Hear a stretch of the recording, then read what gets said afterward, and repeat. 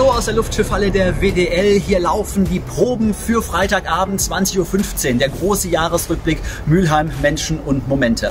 Auf mülheimer-momente.de könnt ihr euch das Ganze natürlich angucken. Die Bühne sensationell. Meine Talkgäste werde ich hier oben begrüßen. Und es wird auch weihnachtlich, denn wir gucken nicht nur auf das Jahr 2020 zurück, sondern wir sind dann am Freitag vorm zweiten Advent. Tamay Bruns, die Gewinnerin von Frankies Vocal Talent, wird euch aufs Fest einstimmen mit einer traumhaften, emotionalen Version von Have Yourself a Merry Little Christmas.